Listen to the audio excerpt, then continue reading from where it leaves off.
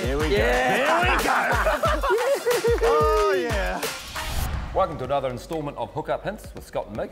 Today, Mig, we're going to talk about one of the most frustrating parts of fishing. Yep. When you're out there to try and target those bigger fish, getting those live baits. Getting live baits, yeah, it's definitely been the bane of our existence a few times, but we've found a few little um, tricks and tips that will hopefully lead to you guys making it a bit of an easier experience. Absolutely. So, in order to catch your live baits, to catch these bigger fish, you need to find them. So, that can be harbours, headlands, areas like that. The main Wharfs, libraries, yep. yep. And the main libraries we're looking at, Mig, we're talking what? Jack Macks, Yep. Koheru, little, Kahawai. little kahawai, Yep. and um, sometimes trevally can be can make for some quite good liveys as well.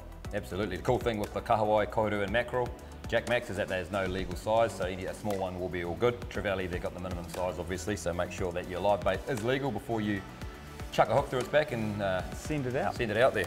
We've got a sounder, we're pretty fortunate to have good technology on our boat, looking for bait schools, looking for things which indicate where live bait are holding in areas where they may be holding. So finding the Mackie schools is ideal. Yep, that's Yep. it. And that generally shows up as big balls of sign, sort of up off the bottom. So it could be anywhere between just a few metres under the boat, right down towards the bottom as well. As long as you're seeing a nice big ball of sign, um, that's what you're looking for, for for generally mackerel and sometimes koheru mackerel. Yep. Um, and then kahawai, as long as you're close to the coast, close to, generally close to shore, you'll find a few kahawai if you chuck a bit of burley in the water. Yep. Targeting kahawai, pretty simple. We just like to cast little soft baits around, generally something with a paddle tail on it, or your little kahawai spinners, little lures like this. Cast them around, retrieve them, or just do the classic trolling around through the bird workups and stuff like that. Yeah. Now your Jack Macks, what we find with that, Mig? Yep. Speakies? Jack Macks, they're generally generally in uh, much bigger schools, um, and we're with targeting the Jack Macks, we generally find that these um, sabikis and bait flies do a really really good job. Um, obviously, with four hooks there, you're able to potentially catch four of them, and that's not uncommon. Yep. And um, they do work really well. And when it comes to the action, it's pretty simple. You drop that down through the bait school that you're finding on your sounder. Hopefully you can either drift through or hold the boat over top of them um, by reversing back into the wind.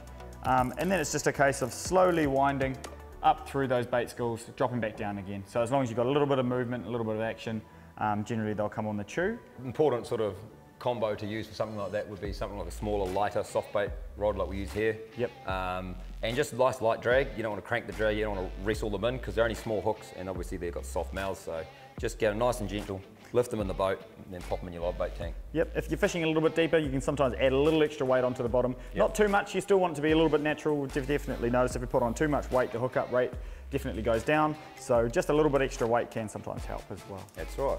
Now another dynamite live bait is a koheru. They're a little blue fish, look a bit like a mackie, a bit bigger, a bit more energy. Now you're gonna find those not necessarily in the harbours, but out around headlands and islands where there's reefs and usually cleaner water. So look for the bluer, cleaner water. If you get a little bit of burley in the water, generally they'll show up. So if you can throw a few of these lures around and let it drop down out of sight, um, generally they'll be holding a little bit deeper sometimes, and then hopefully they'll come up with the burley.